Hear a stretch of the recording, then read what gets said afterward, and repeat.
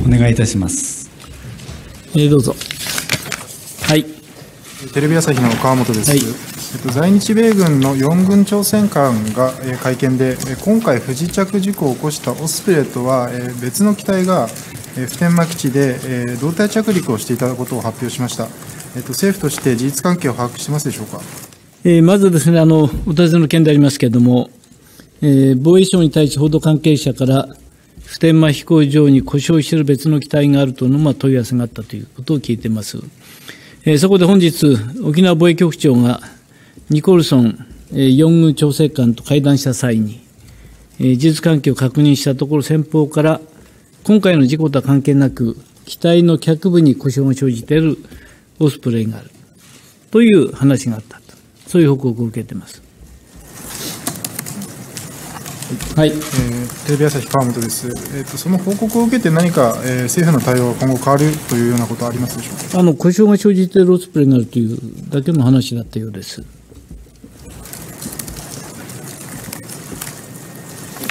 はい、日本テレビ柳沢です、はい、この故障の原因については何か言及あったんでしょうか？あそこはなかったというふうに思います。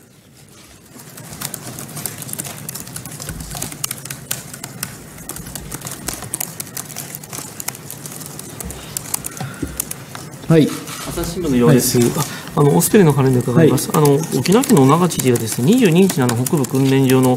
えー、返還の式典の開催についてですね県民感情からすると許されないとしてあの中止を求める意見をあことを明らかにしました、あの午前の会見で長官事故による影響はないというふうにお述べになりましたけれども、改めてこの式典の開催についてはいかがお考えでしょうか？あの知事がそのような発言をされたことについては承知しています。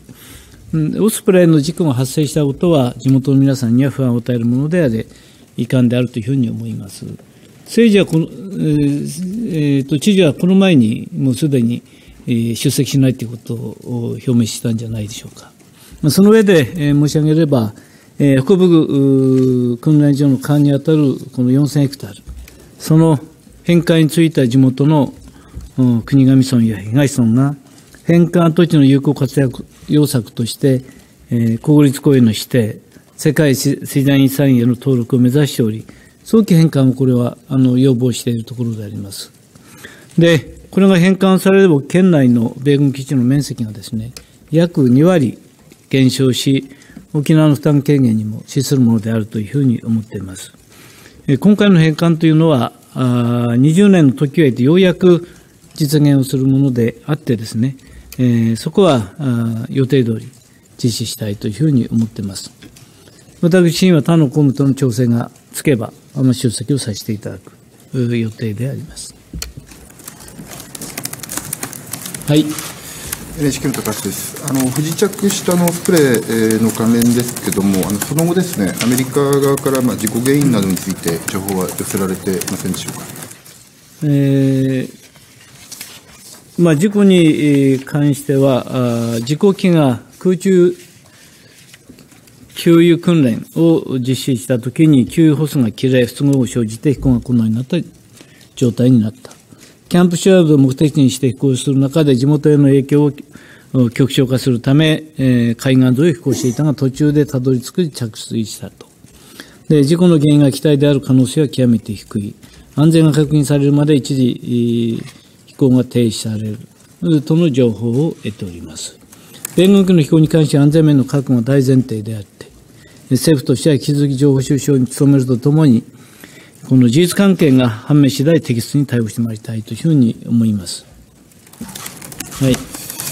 関連になります。あのそうしますと、今のご発言からするとですね、あの機体のその構造構造的な欠陥である可能性は低いということでしょうか？あの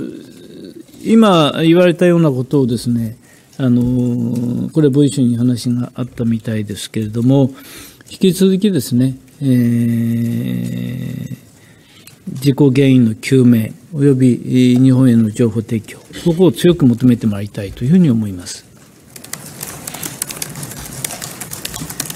はい。読売新聞のタイヤです。あの話題変わりますが、あの先ほど NSC の4大臣会合開催されていますが、あのテーマとして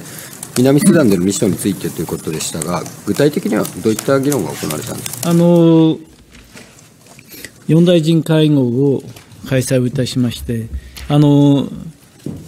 南スーダン共和国ミッションについて、まあ、議論を行いました。内容については控えたいと思います。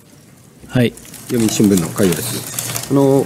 特に何らか南スーダンでの現地情勢に激しい変化があったとか、そういったものまあ、そこは全くない、通常と一緒でした、従来と一緒であったというふうに思います。はい、東京新聞の福島です。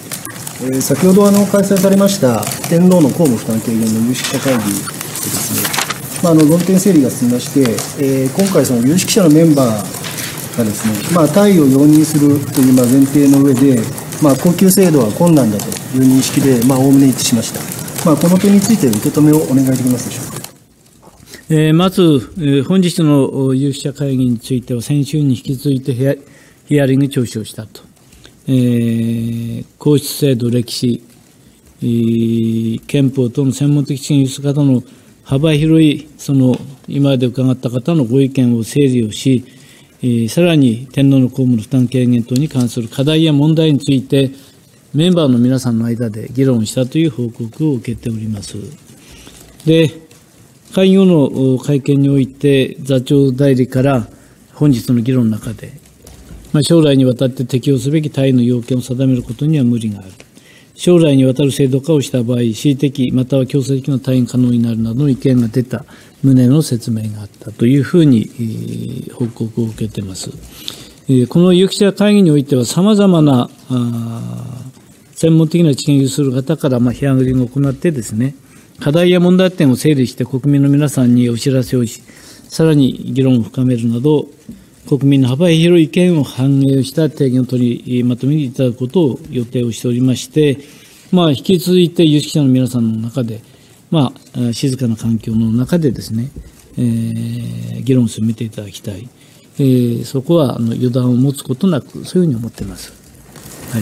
い関連になります。えっと、あの、来年の1月にもですね、まあ、あの、中間的なまとめをされて、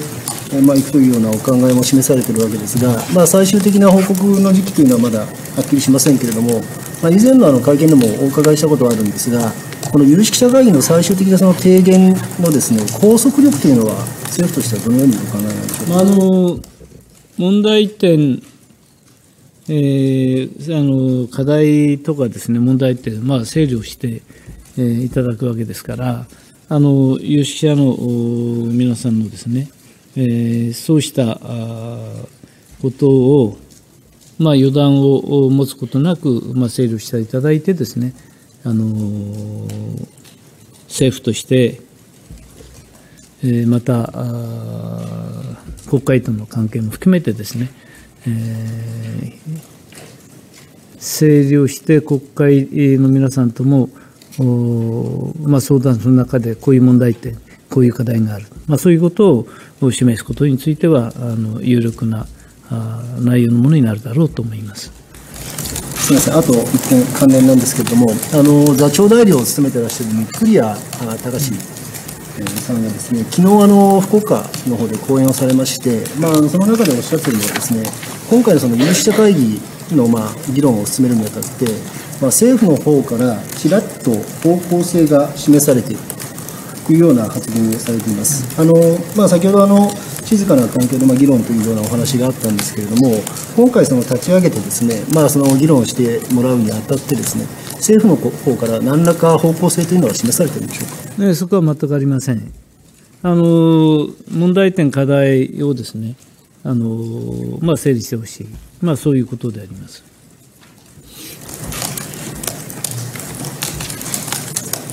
よろしいですか？はい、ありがとうございました。